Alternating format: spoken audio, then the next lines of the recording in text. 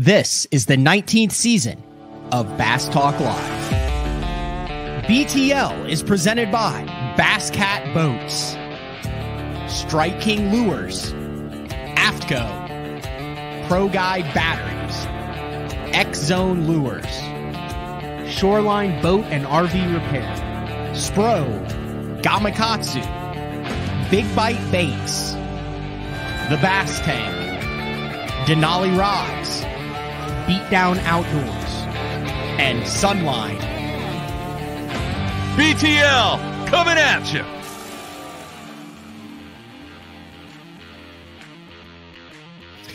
Good morning and welcome to another exciting edition of BTL Bass Talk Live, where we are going to talk about bass fishing. We have a new Elite Series champ, uh, and I think if you ask Brandon Palaniuk, he wouldn't be surprised.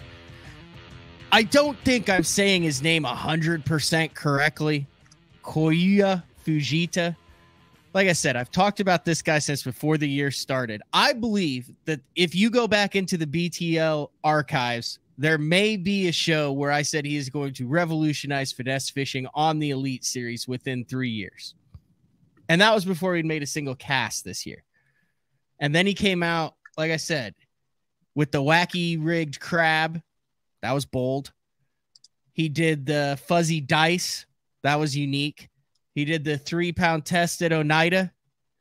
That's an interesting strategy. And now he dominates on uh, and, and he would have won by more too. He dominates on Lake Champlain, which is very interesting because Lake Champlain is an area lake, a spot lake with boulders where people say how hard it is to go to Lake Champlain, once known as the sixth or seventh Great Lake. I think, I, oh, our guest today would know how many Great Lakes there are. We got Polish Pete Trevor Lowe from Omnia Fishing. They're up in Minnesota. Six or seven Great Lakes. We'll just bring him in and ask.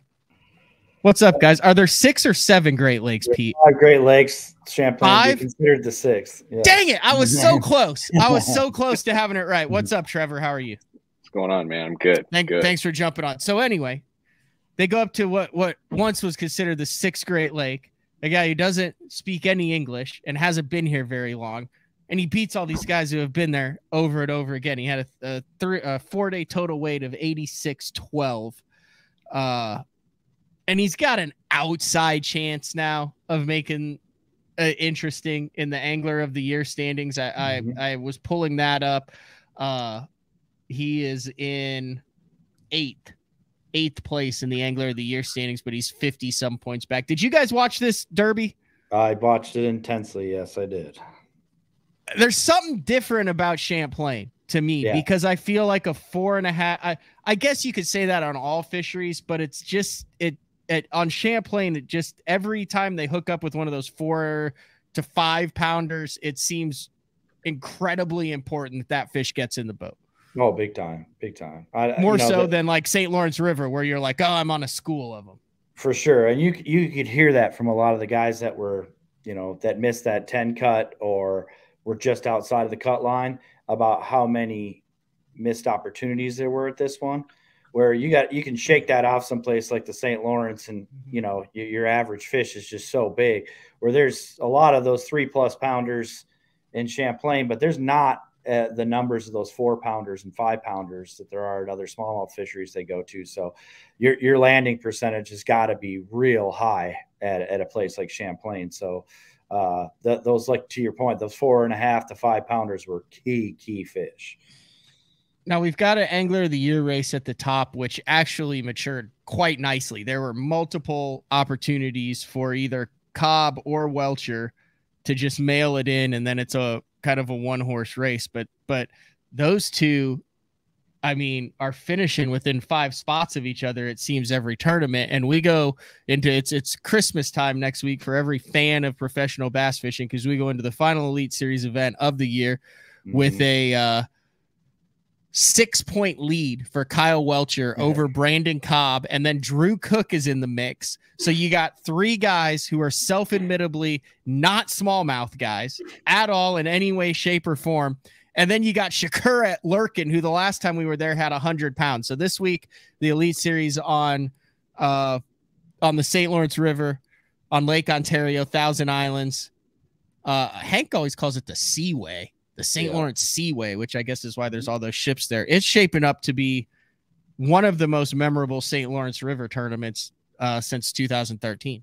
Yeah, I, I think the biggest factor in this one is if you've listened to any of the guys in their socials already and paid any attention to the weather, it looks like uh, this one could be real, real bumpy. Uh, so the the lake might not be where all the top. Oh, they're going. Oh, I agree, hundred percent. Didn't uh, you try to go last time, Trevor? Oh yeah, I mean, I, I ran out to the lake, and I mean, as soon as you, uh, I forget what that that spot's called. Uh, Cape right Vincent. You, Cape Vincent, yeah. As soon as you hit the mouth of the of the lake, it's just like six, seven, eight footers, you know, and so it's it gets pretty squirrely out there. You got to be careful. You got to know what you're doing and just drive slow for sure. There's some big going. factors in this though, because of the fact that they, they they are predicting there might be a blow day if they cancel a day.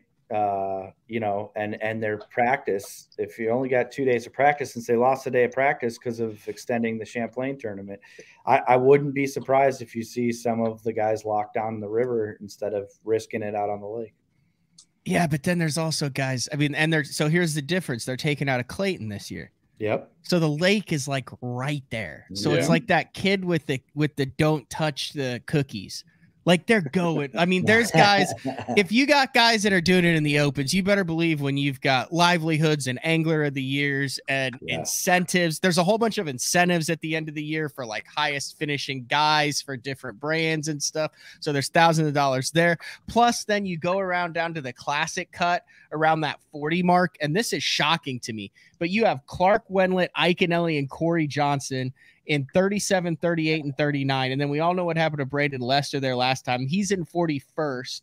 Yeah. Huff is in 42nd. Feider's in 44th and Powroznik's in 45th. Like if you were to tell me, hey, these guys are battling for something going into the last one, I'd be like, oh yeah, it's like the top six in the angler of the year, and they're going up north where they always catch them. But this is to make the classic. They're going to the freaking lake. Oh yeah. I, I mean, I, even if there's eight, nine footers, they're going out there.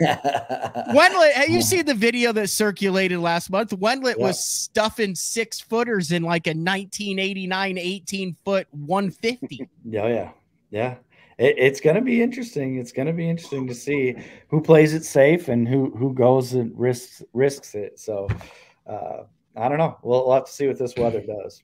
Yeah. Uh, speaking of which, we're going to get into that today. Omnia, uh, cutting edge when it comes to uh, online tackle purchasing, but also possibly some things out there that like should those anglers want to see exactly what that wind is doing if they mm-hmm. want to go to like the hardest part on lake ontario Omnia might be able to, to, to help to help them out with that. Uh, so we'll get uh, we'll get into that. Also, a little bit of a show and tell.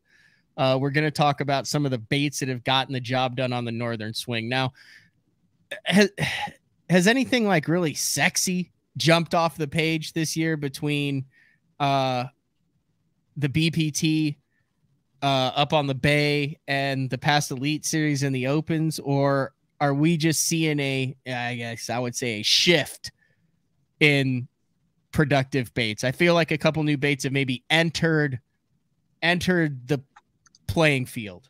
Yeah, I don't know if it's so much at least what they're sharing with us uh so much uh, the baits it's it's that category of baits is starting to shine and guys are getting better and more efficient at fishing it I, we're certainly not breaking any news here that forward facing sonars dominating these tournaments. It's all everybody's talking about. So that hanging a bait, Damiki rig, moping, however you want to call it, is becoming the most dominant tech tactic in the in the uh, on the pro circuits. But I think what you're going to see now is people refining the baits that are currently out there. Um, do you want me to jump into some of that right now? Absolutely.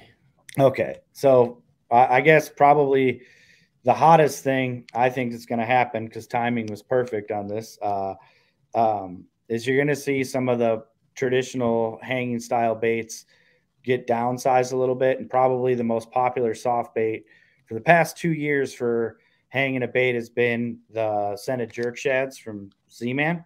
Uh, literally yesterday, the three and a half inch version landed with us. They've, it's been a four inch. It's been what Gussie's won his tournaments on. It's the most natural looking bait, when you're Mhm. hanging it. It's the easiest to fish, in my opinion, if you're new to this because of the buoyancy of the plastic. It makes it sit horizontally. So even if you're not directly over the bait, if you're if you're pitching out to them now, which you're seeing a lot of people do, uh, it, it makes it a lot easier to present the bait in a more natural fashion because it's buoyant. And now they've got a smaller size in that, which had been dominated by this one right here, the Baby Z2 from Strike King, Mhm. uh, which is a three and a half version. It's also a Laztec, uh, but now you've got a scented version from Z Man as well, uh, and the scented jerk shed. So these two would be like your low hanging fruit. I think you've seen probably the most money in that technique get one off these two baits right here. Um, and we've got both of those right now. But it was funny to your point, but Trevor messaged me on my way in this morning and said, we want to talk about some of the baits that have been playing in these last two tournaments. And I said, great. You know, we're, we're, we're in a good position with all that. And I showed up to work and I looked and you see how much over this week of the Elite Series event, how much of this stuff is just sold like crazy. Like our Smeltinator stock went from excessively deep to like, bam, we're out of a whole bunch of colors and stuff. So you're gonna have to sign up for your notifications on that. But the Smeltinator jig is obviously Gussie super popularized Yep. this thing. We saw a lot of anglers, even at Champlain, using this as the jig of choice for hanging a bait on your forward facing sonar. But there's what makes that so good? Is it just because it was the first to the party or one of the first to the party, or is there anything that's because I mean that's a it's a easy to I I mean I would say duplicate, but that thing continues to stand the test of time amongst the top level anglers. You always see hear that smeltinator jig. And I think it's because the hooks hasn't been easy to get for a lot of other jig manufacturers. Okay, Uh, the the most popular size, I think, it's a 604 Gami. It's like a one aught. Uh, you know, they buy up as much of it as they possibly can, and it's used in a couple other jigs for different styles of jigs. So it's been hard for other manufacturers to kind of get their hands on that hook, and obviously the anglers have a ton of confidence in that. But to your point, there are some other brands out there like Matt Steffens Guppy Head. Yep. Uh, you've got the Greenfish came out with this one, uh, and I did see some anglers play with this one. oh that looks good. Uh, this is this is the bad little sh- bad little shad. Yeah, Bryan New's bad little shad. Okay, Uh, we, we've got a bunch of these. There's a lot of cool minnow colors in these, Yeah. but very similar bait. Uh, very easy to keep horizontal. Um, That's the the whole key with this, right? Is the horizontal. If if you hold up that smeltinator too, it's a ninety. Not let me make sure I get this right. Ninety degree line tie on. it. Exactly. And you're and you're seeing that making that presentation of that bait being horizontal in the in the water column is why the ElaZtech plastics have been so popular. Um, but we've because seen they float. we've seen some anglers making adjustments to this. That's the funnest part about this to me. As much as we're all complaining about staring at guys' backs for days on Mhm. end, forward facing sonar fishing, it's uh, you kind of touched on it this morning. We were chatting before we went on here. Uh, is we don't even know exactly what everybody's d- did on Champlain because guys are holding it tight because they're going to the St. Lawrence. We're going to see the same tactics get played. Uh, what adjustments are being made now that all these anglers, even the southern anglers that weren't hanging baits like Gussie was his whole life, or the Japanese anglers that have been doing it, what adjustments are they making in their presentations? And we've seen stuff like uh, Matt Steffen come out with that hover rig. Uh, yeah, hold that, hold that up a little bit yeah. more. So, So- when Matt was in studio, he actually gave me some of those, uh, a pile of them, and I have not unlocked the magic of it, but I've put it on a bunch of different stuff. Like he Mhm. flips with it, he strolls with it, Yep. he casts to fish with it, he fishes brush with it. Him and Jonny Schultz designed that for core tackle. yep. Uh, but there's something with that action. I caught some actually around bridge pilings at Wheeler, which will tell you just how dialed in that I was fishing bridge pilings at Wheeler. but I, I was actually Mhm. very impressed with that uh, with that jig head. yeah it's it's it's just a sign that you see that people are adjusting and it made me you know when when trevor told me you wanted to kind of chat some of this stuff some sleeper stuff i don't think a Mhm. lot of people have caught in caught on to yet but i don't know. This is just my observation. Yep. i guess i'm calling calling it out what i saw. I don't have any details on it because i have not got a chance to speak to koyo fujita about his win and uh, i don't know if i will get a chance to speak to him about it but just my observations from watching him uh, it seemed to me, and I, I think if you look back at some of the footage, a lot of anglers would agree with me, that he was not fishing a bait hanging directly in front of the boat as much as a lot of guys were.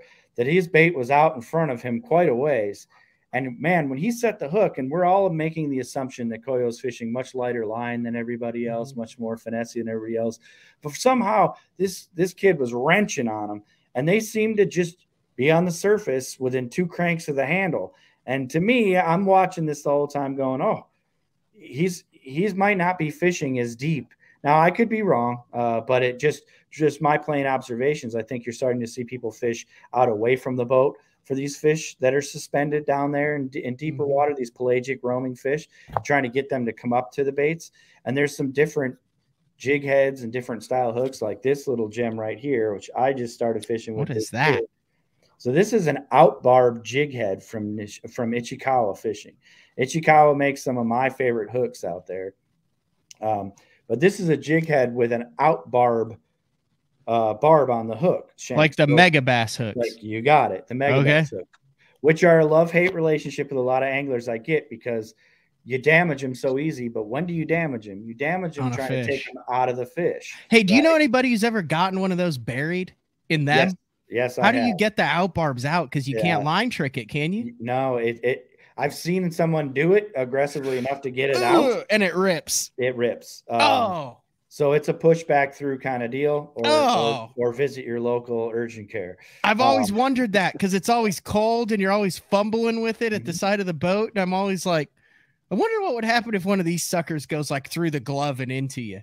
And Yep. now I know. Anyway, continue. Sorry, I didn't mean to sidebar you with that. I just have always wondered that. Nope, I, that's honestly, I'm glad you brought that up because that's what I was going to say. Is but when you look at a jig head like this, it's got a little bit longer shank on it, and it, it's a. I'm trying, I'm trying to get it up to the screen here for everybody to see. Um, That looks a little bit longer shank on it, but it, so it's going to help you with that horizontal presentation with a with a traditional salted soft plastic that's not as buoyant, right? But also what aids you in that is if you're fishing something with a flatter belly on it. I'm trying to think of something I got here that with a flatter belly on it, like maybe this Great Lakes finesse flat cat. Uh, you can pull it kind of forward towards yourself, keep it up higher in the water column, but with that out barb, if the fish comes up and strikes it from the side or gets a light bite, and you saw a lot of anglers at Champlain lose a lot of fish on their jig heads. Yeah. Uh, uh, this will aid you in landing those fish if you're fishing the bait not straight up and down. You're fishing it out away from yourself with lighter line and a spinning rod, and you don't get a hard hook set into them. Uh, if you just pull into them and load them up a little bit, or they grab it and run off with it, you're going to get a better hooks. Uh, you know, you're going to landing percentage will go up with this hook. But to to Banger's point there, be careful because landing a smallmouth is scary enough. But if you're going to grab at this thing with your hand, if you get this jig hook in your hand, you're going to have problems. Uh, There it is right there. But it just goes to show you that there's there's some different ways to fish this stuff. I also believe that this style jig head's getting fished a lot more too, and Hold that's just and I think you're going to see this play at the St. Lawrence, and that's a mix between your spy baiting Ah. technique and fishing a Okashira screw head like this, where you can actually cast this thing out to some fish on your forward facing sonar and roll it over the top of their heads and get them to come up and grab at it uh, with that added attraction of the little blade on it. But you can fish the little baby Z2s or the Great Lakes finesse plastics that are getting so popular with all the anglers. Uh, um, and you can fish it in different uh, levels of the water column on your forward facing sonar. That's kind of the secret thing is that little Great Lakes finesse drop Yeah. minnow, the Oh, yeah. neutrally buoyant drop minnow on that screw head or a tiny underspin. You got it. The little underspins are playing like crazy. Uh, and I think that's not just because the added attraction of the blade. I think that extra weight on that little finesse presentation helps you keep it Mhm. in whatever uh, column of the water body you're trying to fish. You know, if you're staring at those fish that are cruising eight feet off the bottom, it's not super easy with a 16th ounce jig head to just sit there and keep that bait in front of that fish's face, especially in two and a half footers and the bow's coming up and down in the boat and everything. If you've got something like a little underspin uh, that's got some added, you know, weight to it with that blade spinning underneath it, it's easier to keep it in front of that fish's face or right above his head.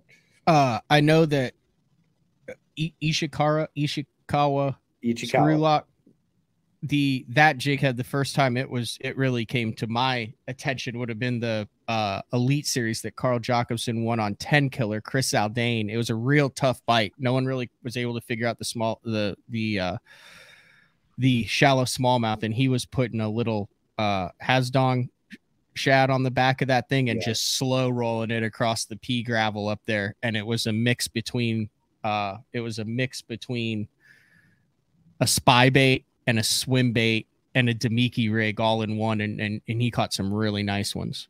Yeah, he did, and and I think, uh, especially with the limited practice these guys have, you're still going to see a little bit of that moving bait stuff play at least day one in the tournament. Now, if you're a guy like Corey Johnson and Chris Johnson, and you're you're dotted up, you know where you're going, you know where you're going to hit.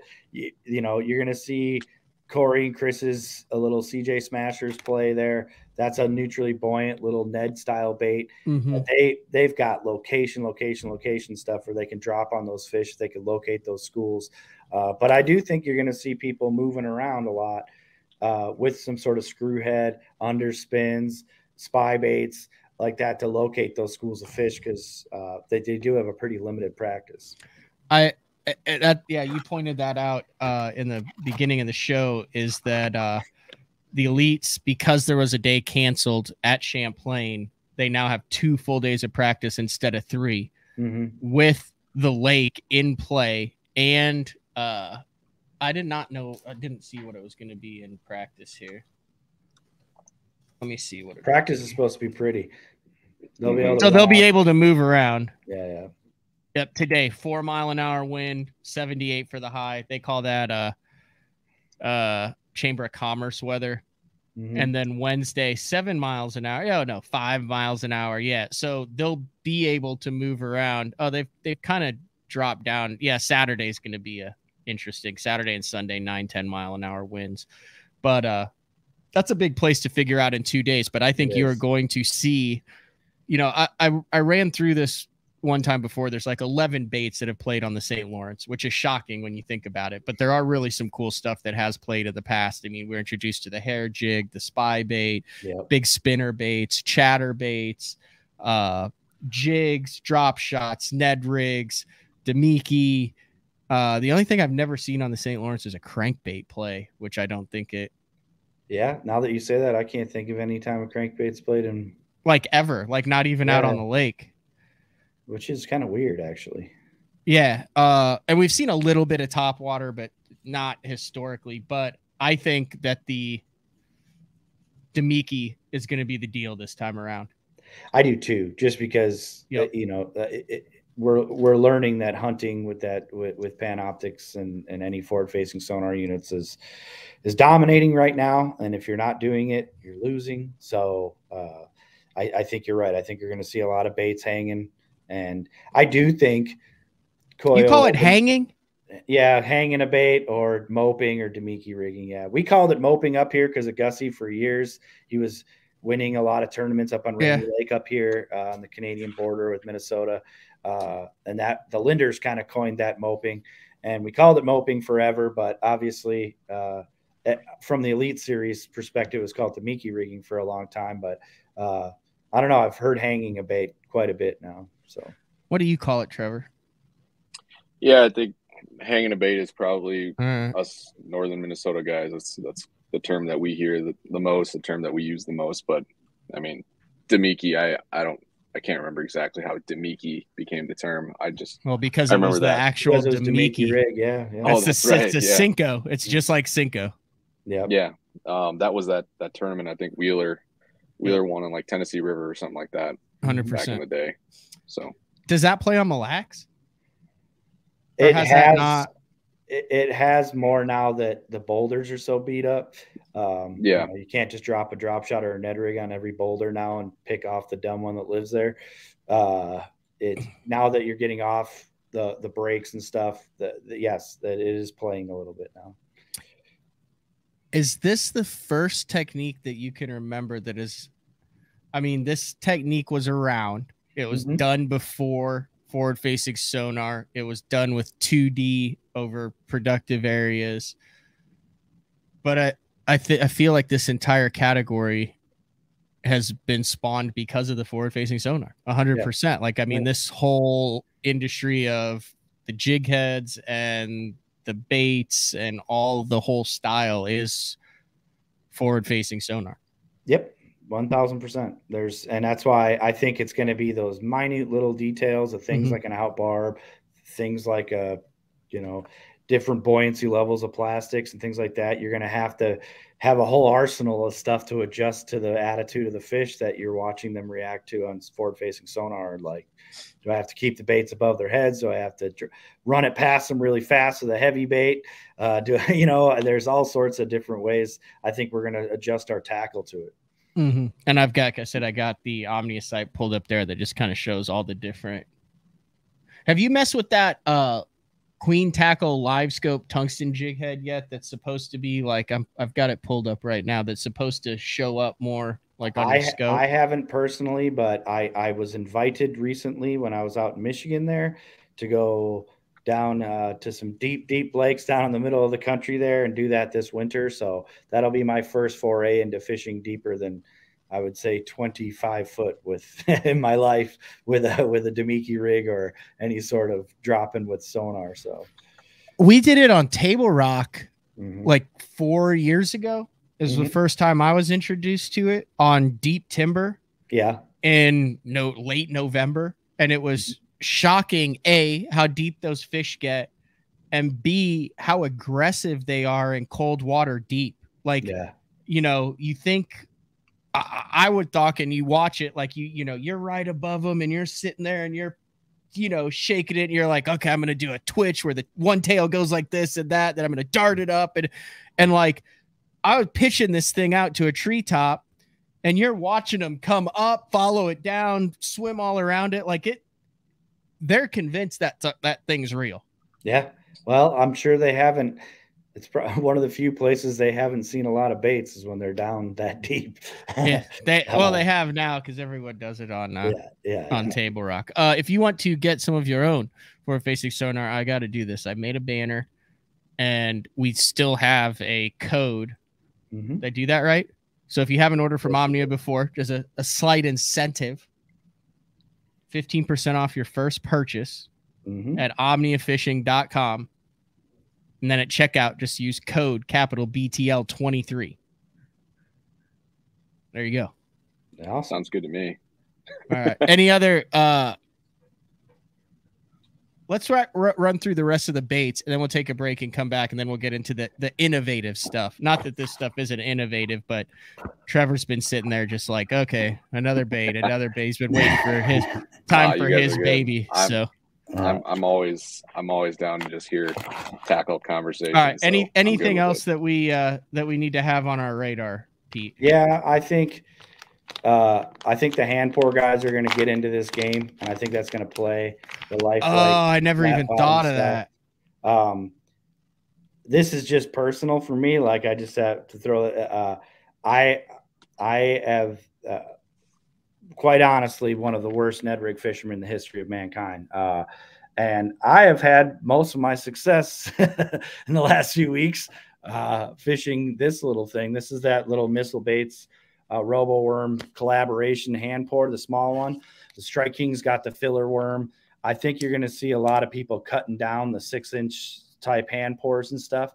Uh, just playing with them in the tank here and looking at it. The the lifelike, you know, stuff you get out of the hand pour worms is going to be huge. So I think if if you're trying this technique out, I, I don't think you should turn your back on some of the West Coast stuff, all those hand pour worms, uh, cutting those down and trying different techniques with that. And I think you've seen Schmitty just smash everybody on those hand poured style, uh, whether it's on a Neko rig or a or a Ned head. Um, our most popular Ned head here has been Josh Douglas's perfect Ned head. Yep. Um, it, it's it's roll it, the sides are curved so it stands the bait up a little easier, but even for hanging a bait, the shanks are long enough on it that I think it it works really well for that technique as well. And one other one I I think gets slept on quite a bit here is this little thing here, especially in those Great Lakes fisheries or any of the small fisheries, is uh, this is a bait uh, The by heck is that? Yeah, it's a bait by Nishini here. Uh, it's like a willow cat. Uh, they got them in just green pumpkin and black, but they're um, they're heavily, heavily salted and almost looks like chum in the water when they hit the water. A lot of flakes kind of flutter off this thing as you shake it around down there. But uh, you know, I would I would encourage people to just get creative. If they can find baits that are a little flatter on the bottom with a wider head to hook into, uh, they can get a lot more action. It's easier to keep them horizontal and a little different than just the ElaZtech baits. If What is that again? This is uh Hold the whole package up. yep, this is a Nishini. Works. Namazu. Okay. Am I is this like a thing that everyone knows about and I'm the only one who's never heard of this so Now yet? this is a little juicy one. I thought I'd just share. I mean, could you not do like a micro uh Neko rig on that too? you absolutely could, yeah, without a doubt. I think Hold that the hold the bait up again because it looks like it's got it's got elements of a Ned rig, it's got elements of a Damiki rig, and then they were like, "Yeah, let's kind of make it look like a catfish." it looks like a little willow cat, which is a bait fish. What's a willow cat? Uh, it's a popular bait fish in the walleye tournament world. They actually, they're never even heard available of that. bait shops, people will buy them and uh, fish them. Uh, so it's it's a really, really, really cool uh, bait. That uh, trust me, I just pissed two people off big time sharing this, but I've kept it quiet for a couple years. That's Uh, what we do at BT. Yeah. We piss people off. yeah, we piss people off, but this thing's been really, really, really effective for was great. It looks huge on the camera here, uh, but it, it's it's it's a pretty uh, pretty good bite sized bait if you're looking for that bigger bite, hanging a bait, uh, or fishing. Like you said, you can fish it on a little Neko rig. There's there's different ways to fish this bait. You got to get creative now, I think, with the forward facing sonar. So um, Is that a willow cat? that is a little willow cat. It looks like. Can You Okay. blow the picture up a little bit. Uh, possibly here. Let me. Uh, yeah, you guys don't even see my, my attempt to do that. There's a willow cat. That's what we're talking about. Yep. Hold on a second. Oh, oh, you are about to love this picture. Oh yeah. That's a willow cat, and then Willow cat. and then hold the bait up again. Yep. Are you really gonna get in trouble? Am I just really hammering the point home here? to where- I didn't think we could after the show. brush by it and say, "Here's a bait to try." But uh, Hey. yeah, th- this is a cool little bait. That and where are these? These are like strictly a northern deal. Yeah, they're they're re- they're uh, residents in a lot of the rivers uh, that are all Great Lakes tributaries, uh, the Mississippi River, all that stuff. Uh, it's a pretty cool way. Uh, see, there we go. I already got one person pissed off. Uh, uh, it's just a good bait fish imitator that not a lot of people key in on this bait fish. Uh, th- this this presentation, but I think obviously this thing can mimic a goby. We see all the crawfish style baits uh, that don't even look like a crayfish still get bit and all that stuff. So just a good natural forage uh, mimicker that I don't see a lot of people mimicking. I see them mimicking shad, bluegill, gobies, crayfish. Yeah. Nobody's mimicking little little bullheads and catfish. And what's the name of that again? I'm gonna type it in real quick. This is the Nishini Namazu. N I S H I N. Sorry, guys. Okay, I think I found it. Take it easy. Let me get some before you go. Is that it? That's Is that it. the five or the four inch? This is the four inch right here. Oh, that's reasonable too. It's like three bucks less than a pack of uh flatworms. Yeah. And you can drop shot it, you can Ned rig it, you can Put it on a football head. Kind of ruins the whiskers, but uh, oh that finesse like uh Travis Manson's little Beast Coast football head, you can put that on the back of it. think of the hover rig. Think of a lot of Yeah. different ways that thing can play. Oh yeah, you could fish it and it comes in a five and a four inch.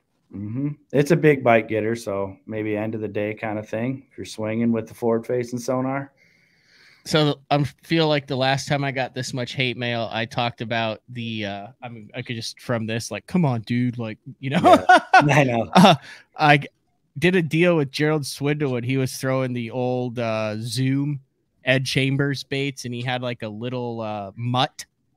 Yeah, And, yeah, uh, the whack one or whatever. yeah, and I kind of got cued in on that, and I had a buddy who does like one of the wood bait uh who does one of the wood bait forums, and he's like, I don't know what you did, but you just pissed off a bunch of people on the forum.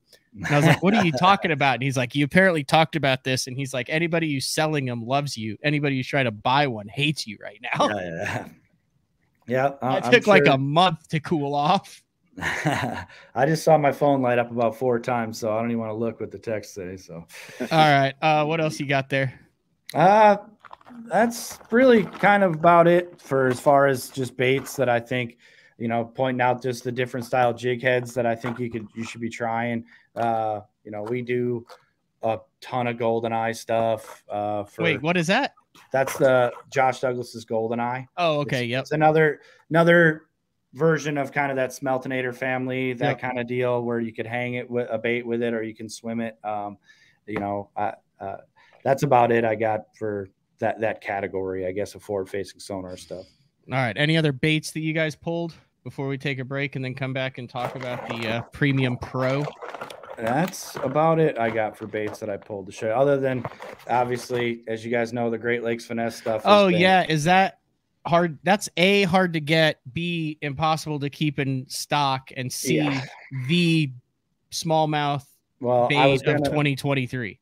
I was gonna brag when I was on my way in here when Trevor said that because we we got a, a, boatload of it last week, I believe, and I got here this morning to pull it, and like all the drop minnows were gone. all that. Uh, luckily, though, if you if you click the notify me next to them, uh, I did get informed after I blew a gasket when I saw they were already all gone uh, that we have a whole bunch more on the way. So uh, sign so, up for those notifications will email you as soon as they get scanned in, probably later this week or next week.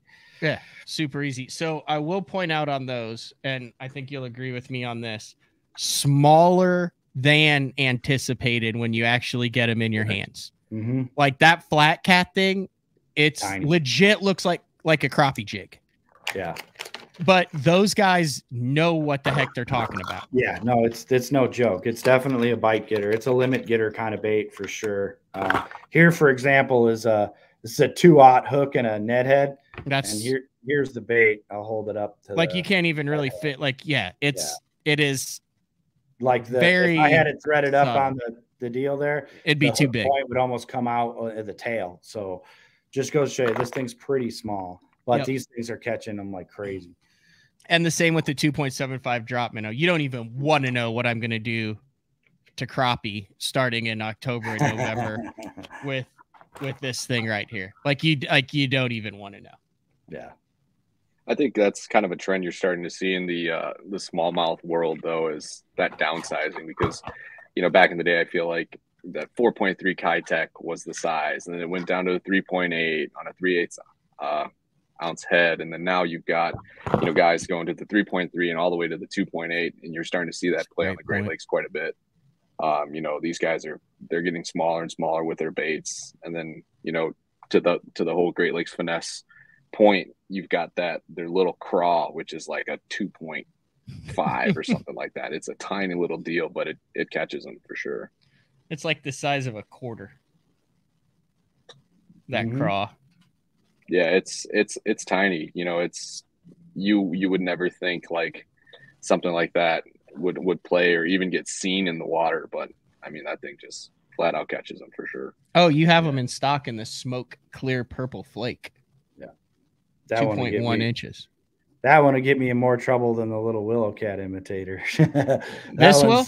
yeah that one's been catching them for quite a while uh way before great lakes finesse blew up yeah, and they're put they're putting it on a ball head jig and mm-hmm. dragging it like a Ned, mm-hmm. but just dragging it. That was part of the was it the 30 how much did it weigh? 30 30 something pound bag out of St. 30, Lawrence 31 32 or something. 2 like pound bag out of the St. Lawrence.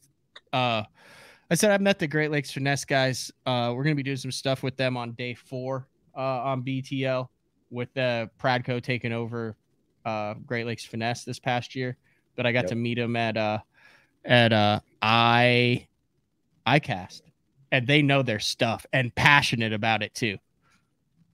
Kind of like Simonton. Remember when we had uh yeah. talked about Michael Simonton? I went yeah. so oh uh cool story. I went and uh fished with my dad on Erie with Michael Simonton.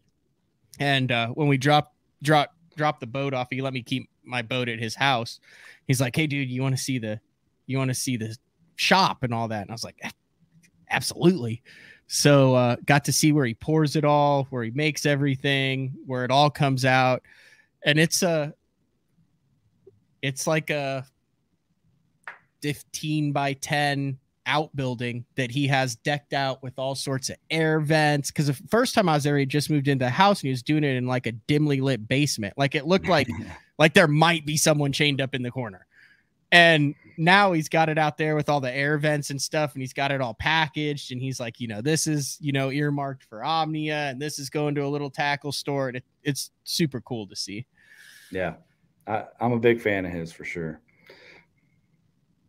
All right, we're going to take our first break of the show. Uh, when we come back, we're going to get into the uh, ways to find where to throw the baits we just talked about. I guess is the best way to do that transition because That's a good transition. Uh, yeah, you know, there's some apps out there, uh, and then Omnia is jumping into the game with their Premium Pro and a lot of different options to help cut down the time it takes. And it you can also use this stuff to keep you safe to figure out where you do want to go, where you don't want to go. But uh, we'll let Trevor dive into that. It is BTL. What's today? Tuesday. Today's Tuesday. Oh. all day long. Tuesday, 8 22, August 22nd. Guys from Omni, and we'll be back right after this. The new Puma STS has been redesigned from the ground up. With the angler, design, function, and performance in mind, Nothing on this new offering was compromised, and the only thing carried over from the previous version is the name. Based on the Soft Touch series hull that started with the flagship Jaguar, this new model is nimble and performs incredibly well at all speeds with either a 250 or 300 horsepower engine. Featuring a new 96 inch wide body footprint, this hull measures out at 20 foot 7 inches in length. Industry leading design coupled with tournament winning performance. The Puma STS from Basscat feel the rush.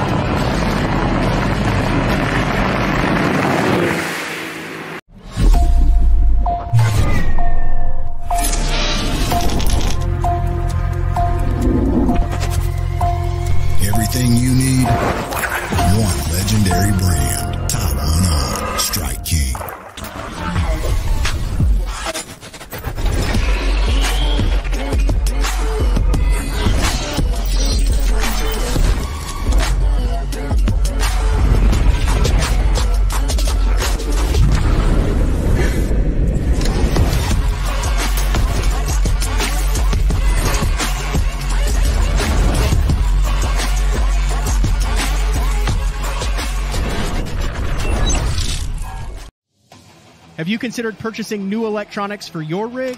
The type of mounts you choose to protect your investment should be part of the decision making process. No matter if you prefer one, two, or three graphs up front, Beatdown Outdoors has a solution for you. Adjustable, versatile, rigid, and made in the USA. What's your ultimate electronics setup? Check out the full selection of Beatdown Outdoors products by visiting beatdownoutdoors.com. Elite Series Pro Darold Gleason here. My Pro Guide batteries keep me going on those long tournament days and long practice days. Always plenty of juice, never fail. The best part about Pro Guide batteries, it's the people behind the company. They have over 40 years experience in the battery business, keeping all of us fishermen out on the water longer, catching more fish. Check them out at ProGuideBatteries.com. What's up, Bass Talk Live fans? Brandon Palaniuk here. And ever since I won a couple Bassmaster Elite Series events on Xzone Lures, I've been getting a bunch of questions of what makes them so special and different. And really, the truth is, it's in the details. The little details, things like no cheap fillers in their plastic. That gives you more lifelike action, more realistic and vibrant colors.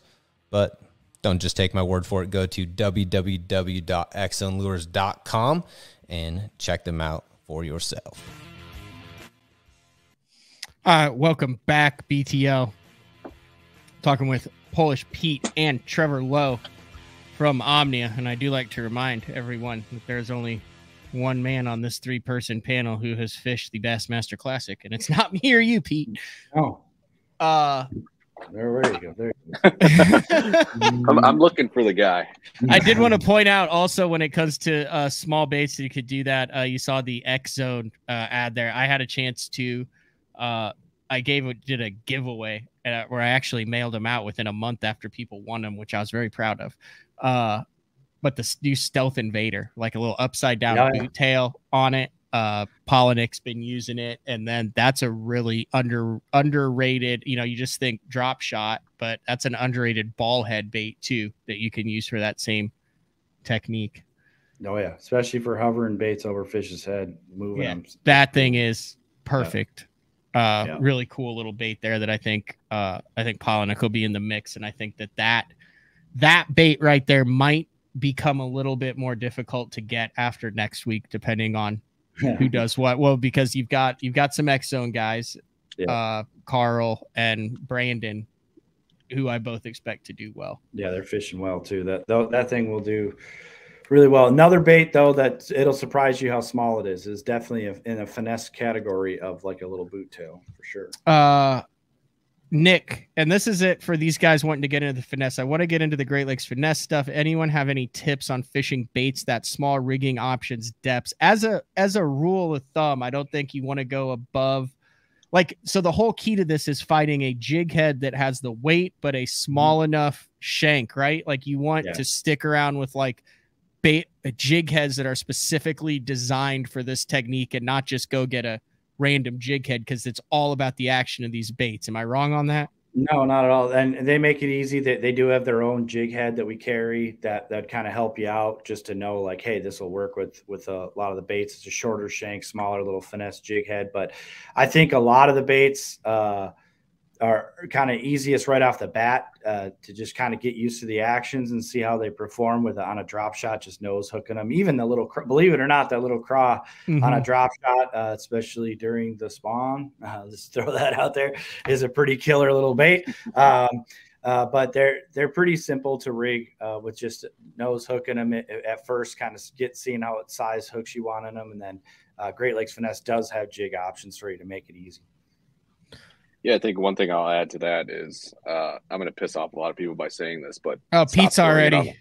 yeah, it all up, no worries. stop uh, stop throwing it on a bait caster. Throw it on a spinning rod, please. You know, I I, I know the BFS craze and six pound test and everything like that, but you know, you lose that that's that nice smooth drag if you you go with a bait caster. So if you're going to be throwing light line, you're going to be throwing those light wire hooks and those tiny little you know one out hooks. Definitely keep it on a on a spinning rod. you, you did piss a lot of people off with that statement, bud. Yep. It's amazing to me how they there. find it, how the uh, how those fish can find such a small bait. But I think we're learning, especially with forward facing sonar, that we're not using them, and they're not using them as search baits. They're using them as feeding baits. They're Mhm. not reaction baits. These are baits that the fish are are feeding, and this is matching the size and shape. I mean, yes, sometimes they eat the giant rusty crawfish like that, like that one, like they do on St. Yeah. Clair and stuff. But as a whole, I mean, it's much safer, much easier to eat those little crawfish and Mhm. those you can catch six inch gobies, and yeah, you can catch them on that, but they like those little two and a half, three inch go, and it and when you can put that bait in front of them, your your bite ratio and your hook to land ratio, as far as commitment for that fish, goes through the roof. Is I think kind of what we're learning, especially with those minnow baits. Yeah. Uh, you know, with the a few exceptions, it's also interesting. A lot of those min the same baits that I'll use the term that you're hanging or Mhm. moping.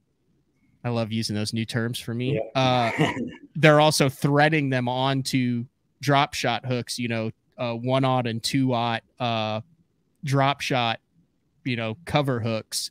Uh, we saw that get really big a couple years ago on St. Clair when they're dealing with different bait fish. And I think you're going to continue to see those baits on drop shots threaded on for hookup ratio. Mhm.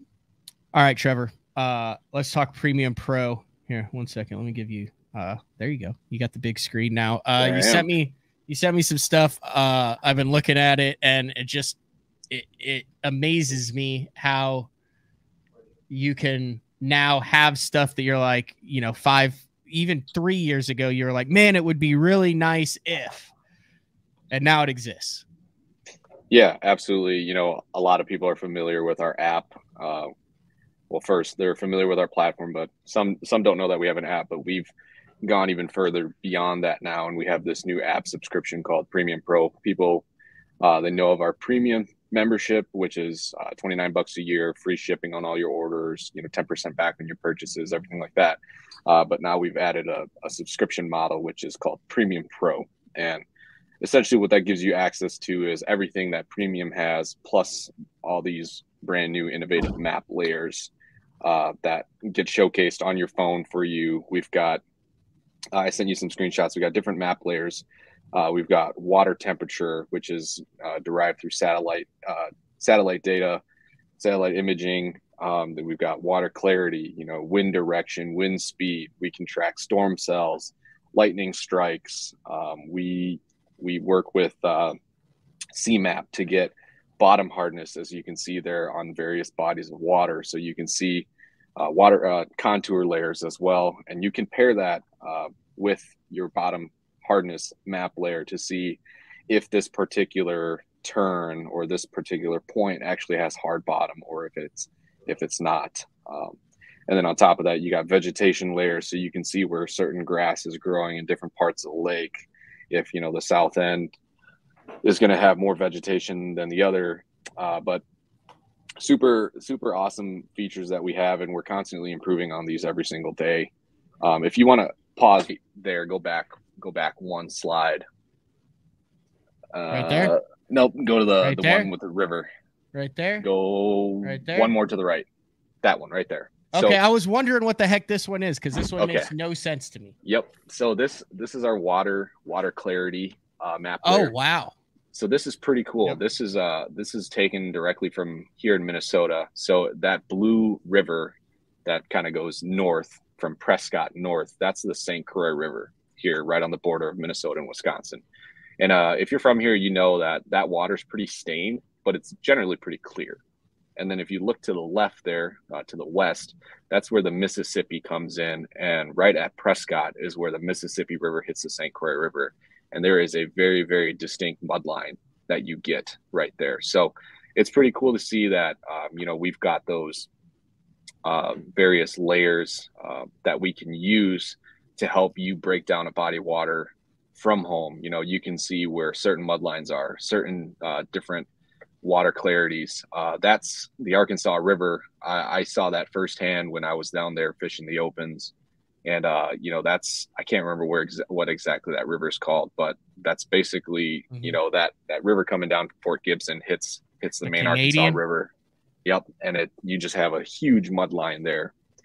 Um, and then if you go to the next slide, everybody's familiar with Tenkiller and, and you can see how clear Tenkiller is and that's completely highlighted in a different color gradient to show that you know that water is much clearer than than everything else around it. So Yeah, there's the Um, river. There's the river stuff down there, yep exactly. So and then there's yeah really cool stuff. Uh, like i said you know if you're you're fishing a body of water and you're trying to figure out where clear water is or where muddy water is you can do that. And then here you've got contours paired with bottom hardness uh, so that you can see which uh, you know various contour changes points humps anything like that actually So has this hard is- bottom or not I don't know. I don't know what lake this is. Is this a Popka? no that that lake is uh Hmm, that's meh. Halsted's bay which is up here in lake minnetonka Oh, so okay. So this is Yep. hard spot. So like right here where I'm circling. Yep. If I'm gonna, what is is there vegetation that's over that? Do you have a vegetation layer? Yep, it's that green one. So you can see there's there's not a whole lot there. Oh, right. Uh, Okay. So right here, there's some vegetation. So I Mm-hmm. know there's some vegetation there, and then I can go back to here and say, hey, there's also a hard Rocks. spot underneath that vegetation. So exactly.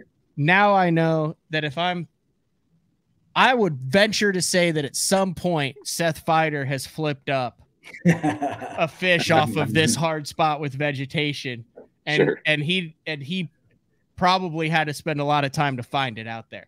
Yeah, Correct. and and that's and that's the key, you know, with with any uh any lake up here that, you know, a lot of the Minnesotans know that as soon as the ice comes off, you know, we're out there graphing because the grass hasn't grown in yet. Um, obviously rocks don't move, at least to my knowledge, they don't move.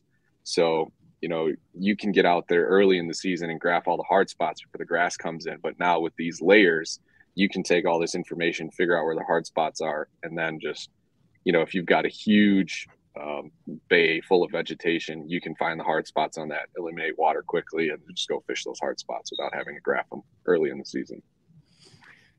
There's kind of like a gold rush on uh, information right now, not fishing information on where to do or, you know, what to use, but just on this type of stuff. And it's really cool to see because what it's doing, I think, is creating uh, educated anglers. Uh, yeah, absolutely. Who can then know why.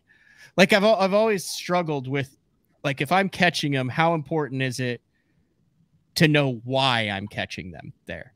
Like, is that is that important? So I've talked to some professional anglers. They're like, I really don't care why I'm catching them there. I just know that they're there. But then you talk to to others, and I would say the vast majority of top end guys, they want to know why they're catching them there. So when something changes they know where to go look to relocate those fish. If they don't know what they're on, then they don't know where their next logical stop is going to be.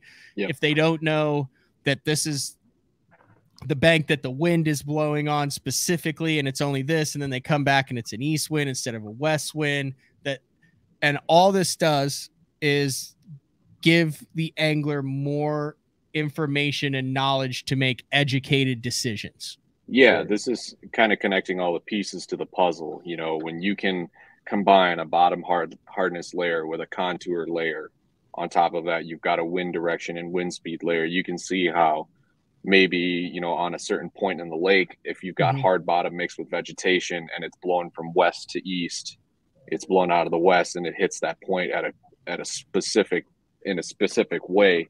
Those bait fish get piled up there and the fish are there and they're chewing or something like that. Yeah you can take that and you can replicate it all around the lake especially you know you've got a lot of uh they call them like pattern lakes like you think of lakes in the ozarks if if they're on pea gravel to you know chunk rock and they're on that transition you can go and replicate that all over the place if you're able to if you're able to find that and it's very similar here in, in minnesota you know if you can if you can figure out that they're on the edge of coontail in 15 foot of water you can go and replicate that around the lake. Or if they're in milfoil, then you can go find that milfoil and that little little bit shallower topped out stuff. But um, all of this is to your point, um, pieces to the puzzle that help you become a better angler.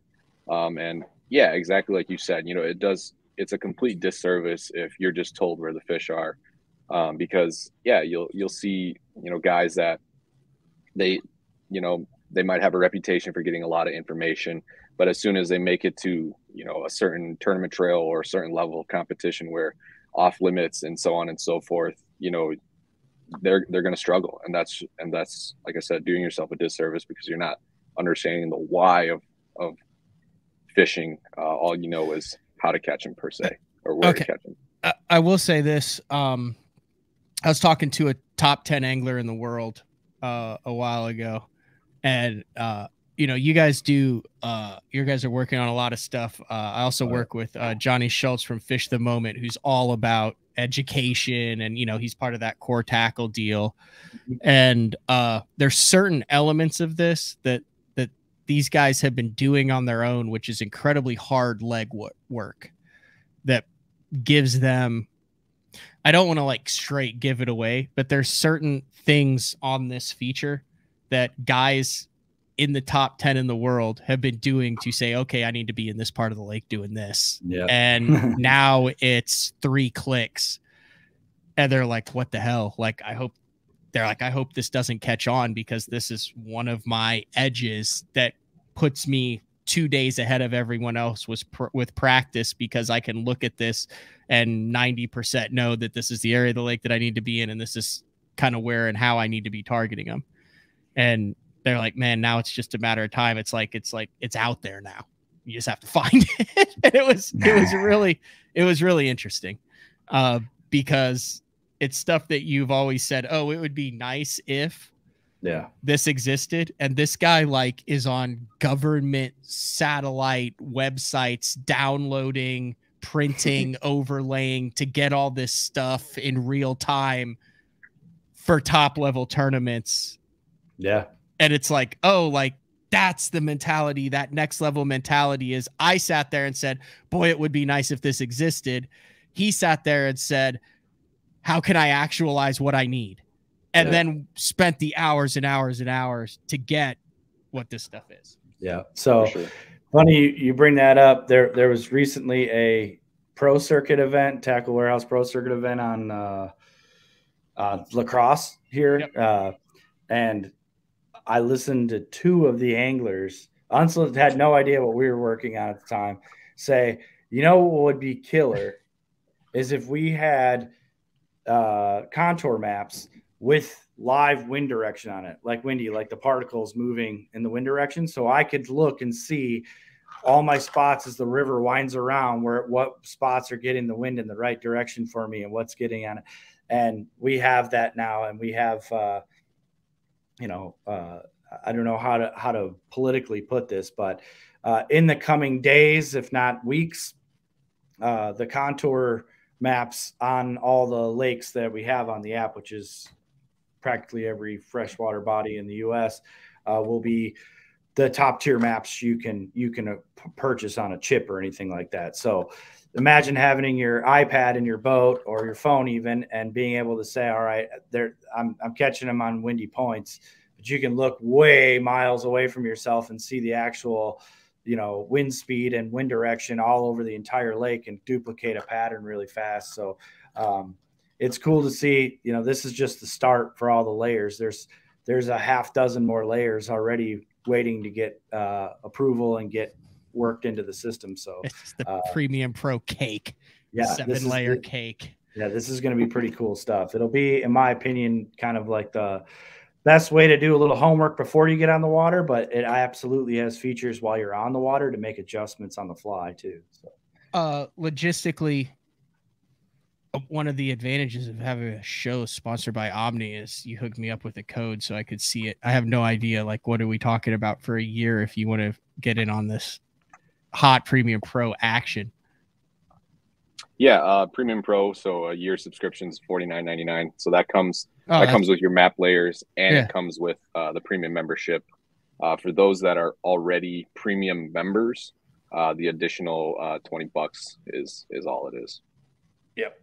So you get your free shipping, no minimum. So if you're buying two Yes. bags of uh, of Great Lakes finesse plastics, you get free shipping all the time. You're ten percent back. Plus, you have access to all the map layers and soon to be some of the really really cool ones coming behind them, too. So, uh just what i need jamie bruce to have more information yeah. not not like not like info but like pertinent helping you catch fish like abstract weather lake info he's he's smoking everyone i expect to see him on the elite series next year heck there's just going to be a whole division a whole just like northern aluminum boat division I might need to join that one. Jeez. Um, It's one, one quick thing to add on that is uh, so right now we've got it released for iOS. Um, Android is going to be coming within either uh, today or tomorrow or something like that. Okay. It just uh, needs to get approved in the I think the Google Play Store or something like that. It should be All good right. go. Uh so if you're on your phone and you don't have the let's say you haven't done anything you've heard heard us talk about omni and everything first thing you do you just go download the omni app Yep. Yep. Then you make an account. Mhm. Yep. Totally free to make an account. You don't have to have anything. That way you can store everything on it. You get all the perks of that. Then once you make your account, you can upgrade to Premium or Premium Pro.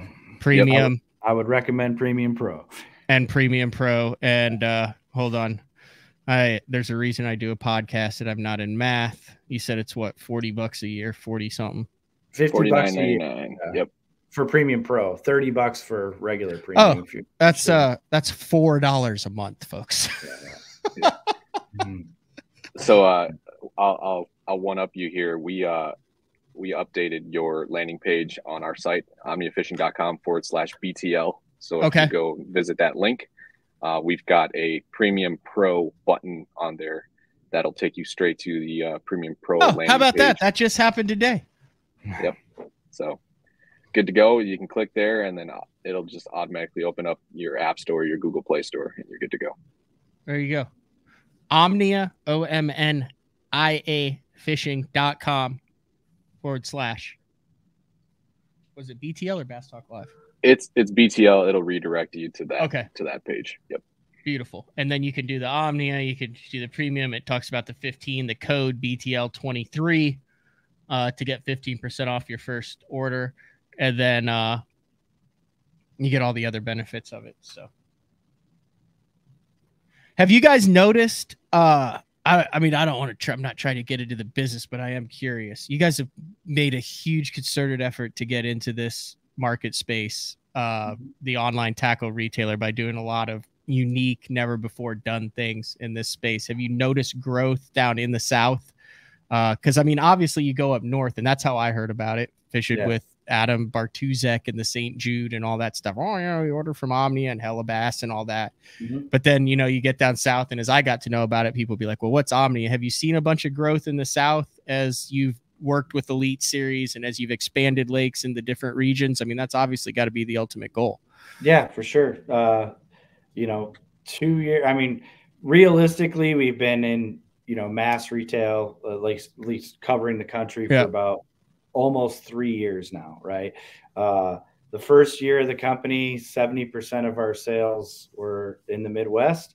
Uh, this year, uh, it's on pace to be about thirty percent of our sales. Uh, So that's So- good, right? that's very good. It means we've spread out quite a bit around the country. We've done very well, surprisingly on the West Coast, uh, but the, the South is obviously uh, where a lot of the bass fishing takes place. Um, but we hope to even it out, honestly, as I think, you know, I don't think it's any secret. Uh, we focused in on bass fishing initially because it is the largest consumer group.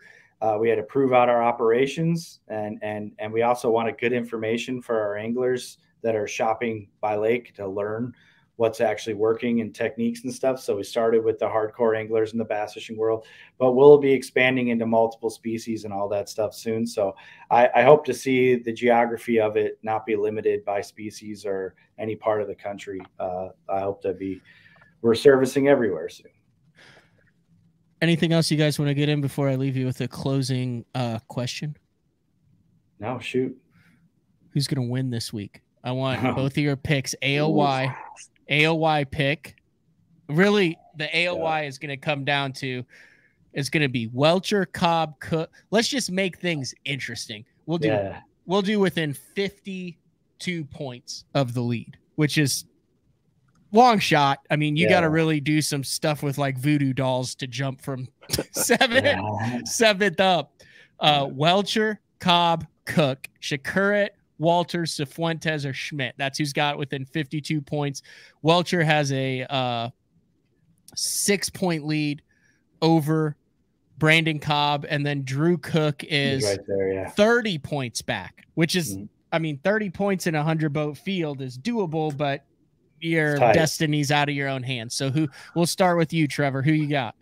Man, I've I've been a fan of this guy for for quite a while, um, and I'd I'd love to see him hoist an AOY, and I'm gonna go with Brandon Cobb.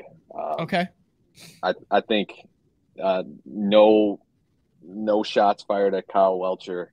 Uh, he's he's been killing it this entire year, but you know I think Brandon Cobb's gonna he's gonna seal the deal. Um, and in terms of who's gonna win this, let's let's get spicy. You want to go crazy? Let's get crazy. Yeah. Uh, let's let's go with a, a back-to-back Kyoya Fujita, double down on two trophies in in two I two like weeks. that. Mhm. How do you say you know how to say his name? Because I say Koya. Well, you know, you you take Japanese, and uh, I mean, you look at it. So you look at the word like the the name Tokyo, right? So the K Y O is Kyo. Okay. So my guess is it's Kyoya. Koya. So, but I don't know. I could be saying it wrong. Who No, knows? I'm not. I'm going with but- that. Uh, Pete, All right. yours. I'm going full on Homer picks here, boys. Okay. Well, yep. AOY. Hit me. Hit me with your AOY pick. I, I think Cook's gonna blow everybody's minds and do some. Cool. Really? I think Cook's gonna pull it off. You think Drew Cook is he going to be Mhm. looking at him, or is he going to actually win Angler of the Year with a spinning rod deep? That's. I, I think he'll mix of both. I think he's gonna do both. That would be something. Yeah, it would be. And then What gives you this gut feeling? I just, you know, I look at the the conditions. I think I think it's going to mess with a lot of people. What's going to happen to them with this short practice and then the the blow days? It's going to get in people's heads, uh, and if it gets mixed up, uh, that if they if they do cancel a day or two, uh, how this thing all works out. I, I could just, I think we we need some fireworks, and I feel like they're coming. Uh, Okay. something something big happened there, and then uh, I got to go full on homer pick. Uh, I haven't picked them all year, and that's so I'm blaming myself for the tough season so far. But Feider's going to the classic. He's gonna he he'll get in on points and because he won this one. So he's going to get in on points and because he won this one, and there's a good chance it'll, and then someone else will get in. Yep, he'll double qualify. There's a lot of people that are probably not happy with Gussie. He's not holding up his end of the deal. He's down in 50th. he needs to double qualify to give. Well, I guess it's the, kind of the same thing because then he bumps someone else down there. But uh, okay. Uh, next question. Yeah, 100 pounds. We had Przekurat hit 100 pounds last time. I'm going to say absolutely no way does it hit 100 pounds this time just because of the weather and a shorter practice period. Obviously in the 90s, but I think 100 pounds. I don't think people understand with running, with weather, with fish landing, just how hard it is to average 25 pounds a day of smallmouth out there yeah, I have to for back four you up. days. I, Yeah. I hope we see it. Don't get me wrong. I Mhm. hope we see it, but I, my gut is you're right. I think it falls short of 100 pounds this time. Yeah. Upper 90s probably. That's that's going to be my guess. 96 to 98 or something like that. And final question What bait is it one on? Because a lot of times it's not a mixed bag. You got a lot of guys who, I mean, you have to kind of you, you've seen a little bit, but you kind of got to go full full on, especially uh, in late August. I think it, I think it'll be a one or two bait deal, but primarily when we're rolling out of this thing, are you going to be scrambling to get something none of us have ever heard of? Is it going to be a willow cat deal, Polish Pete? I don't know. Uh, I I uh, I I have a feeling it's going to be something pretty small. Uh, I, I'll I would say that that that three inch scented jerk shad, a three and a half inch might be a player. I, I can promise you this much: uh, there's a lot of people fishing with that Great Lakes finesse stuff at that place because they ordered it all from us. So I wouldn't be surprised if Great Lakes Finesse pulls out another victory. I'm going to go with that. What uh what percentage of the elite field do you think has some Great Lakes finesse in their boat out of 103 guys? Just give me a ballpark number. Forty percent. 40%. So you think 60 or 40 guys, 40 out of the 100 have and I don't think many of us had heard of that thing before this year even started. I'd heard about it a little because of uh because I'm buddies with Travis, but I didn't know if it was just another one of his conspiracy deals or what. It's a real deal. I will tell you, it's forty percent right now. After day one of practice, it might be sixty percent. Wow. Depends on All how right. practice goes today. Yeah. All right. I always enjoy it. Trevor, uh, Pete. Heck, I've gotten to see I got to see Pete at uh at ICAST. I got to see Pete at the media event. Your Yep. audio was fabulous for that show. I Oh, didn't wasn't realize we It's crushed. Yeah. you were a little little choppy on the signal. Did not realize that. That's that's on me. Yeah. Uh but that was a good show there. So I've gotten to see a lot of Pete. Uh Trevor, we still got to get on the water sometime. Come on up. I know you haven't fished much this year, you were saying. I haven't. No, I've uh boat's been out of commission for for a while and uh I just I actually just got it back last week. So uh pretty you also have a get kid now? I do have a kid. Uh she just turned one. She's about one and half a month. So she's uh she takes up a lot of my time, but it's uh something I wouldn't uh trade for the world for sure. One year old in a broken boat leads at a job, a full time job that's expanding. Yeah. That's, those are, that's the three strikes of random fishing That's- trips. That's hundred percent correct. All right, guys. Like I said, always appreciate it. Always enjoy talking to you guys. Appreciate the support of uh of BTL. It was like a six month process to get this thing done. And I wasn't exactly sure what I was getting into when I was working with Omni. And they're like, well, can we come on and like talk about like some stuff that's going on. And I'm like, I don't know, maybe like once or twice a year. And then after we did it once, I was like, yeah, come on back every like month or two because uh, I think you add a lot to uh, to BTL, uh, both knowledge and I just like talking to you guys. So we appreciate the support. Yep. all right, Feeling appreciate mutual. it, guys. Pete, Trevor, have fun up there in Minnesota. See you, everybody. See ya. Adios. Oh, there he Leaving is. me up. Yeah, there we go. I did that before. I was trying to do that, but uh, all right, that was uh, Omnia Fishing uh, announcement on who we have as a guest. One of my favorite guys. Uh, when we come back, we'll take our final break of the show. When we come back, it is Tuesday, August twenty second. This is BTL. We'll be back after this. Having confidence in your tackle while on the water is one of the main things to success, in my opinion. In the last couple years with Denali, I've had just that. From anything from spinning rods, casting rods, tungsten products, even now to casting and spinning reels, I have the confidence to go out there and get the job done and know that all my equipment is going to handle it and do it just the way I want it. The thing about Denali is you've got great quality products at a great price point, so make sure you check them out. Shoreline Boat and RV, dock rash, storm damage, collision repair, that deep scratch or gouge from trying to access that secret creek. Shoreline Boat and RV can get your prized possession back in mint condition and looking good on the water fast. All repairs are done in house, so they're able to get your boat or RV back to brand new quickly. All Shoreline's work comes with a rock solid warranty. Find out more at shorelineboatandrv.com. Kansas City, Austin, and Tulsa. I'm the kind of guy that never leaves the house without a pocket knife, and Gamakatsu's come out with the EDC series of knives. EDC stands for everyday carry, so whether you're on the water or off, you can always have it with you. The best thing about it to me is that assisted open feature. With this D2 blade, you've got it right here at your fingertips, so if you can't find your scissors, you need to cut a knot, you need to cut your braid, you've always got it.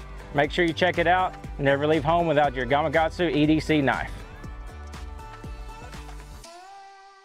Born in Japan, using technology, innovation, and precision, Sunline produces the widest selection of fishing lines at the most technologically advanced line factory in the world.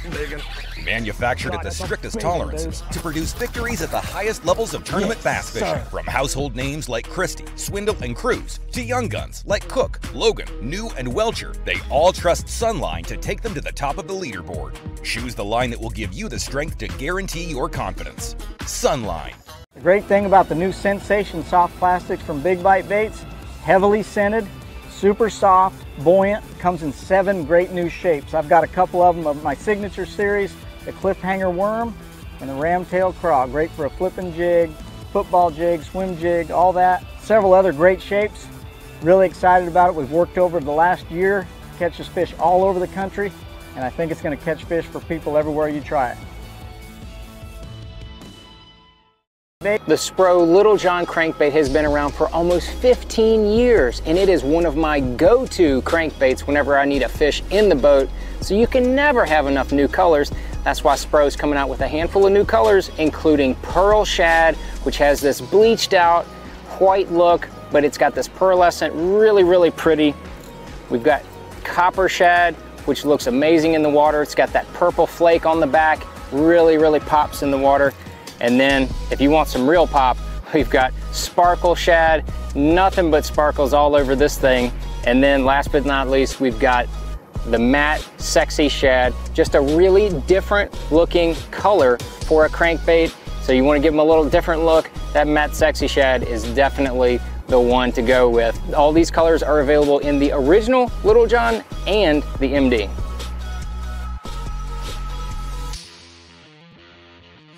All right, wrapping things up here on a Tuesday. Tomorrow's show, Grae Buck,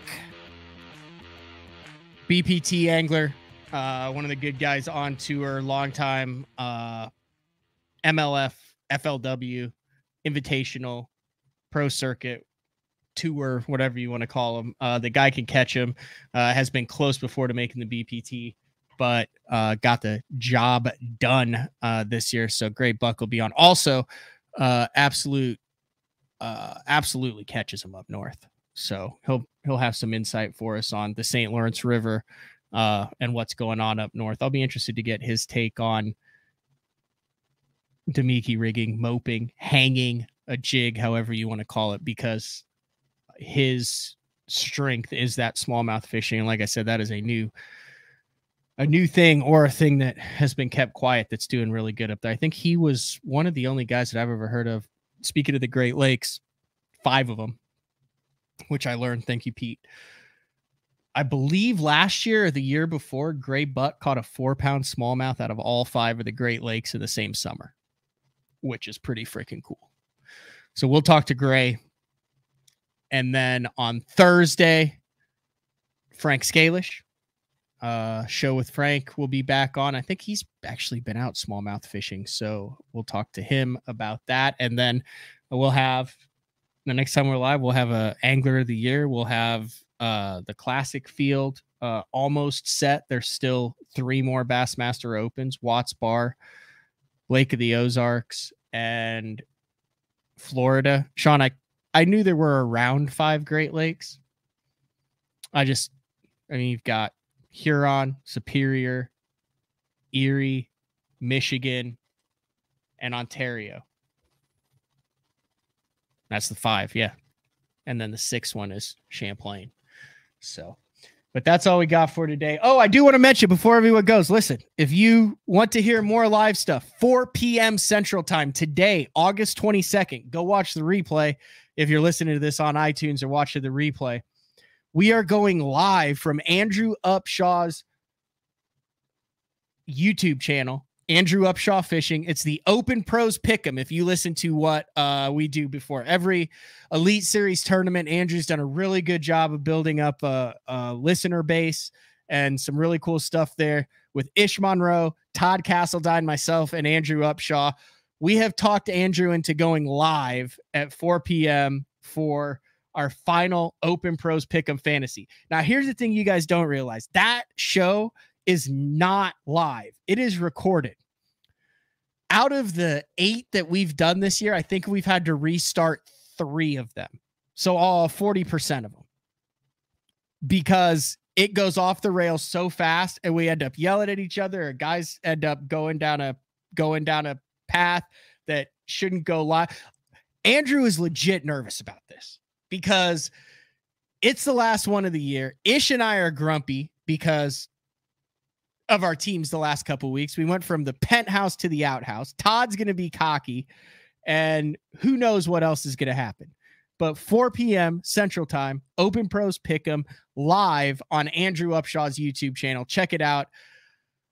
I'm excited for this one, and uh, yeah, I do. I that's a great point, Mark. He said poor Matt's going to get roasted. I don't know how that became a thing, but I get absolutely obliterated on that show from Todd and from Ish, mainly Ish. Ish just likes to pour it on. And then Todd just sits there and exit on. But it is what it is. I enjoy doing that. I enjoy the feedback on that show. So uh that's all we got. Like I said, 4 p.m. today, Central Time, Andrew Upshaw's. Tomorrow, Grae Buck, 8:30 a.m. Central Time head over to Omnia Fishing if you haven't. Support the companies that support BTL allow you to do this. I had said someone that said, "Man, everyone's got a subscription base." Yeah, there's a lot of time, energy, effort to go in uh, that goes into all of this content, all this material. Very thankful for the partnership with Omnia. Sign up for uh, Premium and then Premium Pro orders before 1 p.m. ship the same day, and then you also get a bunch of different uh, perks for being a premium or a premium pro member. But that's all we got for BTL today on a Tuesday. I gotta go fix my lawnmower belt. That'll be a fun one. Should be a five minute job. Guaranteed it takes me over an hour. We'll see you tomorrow.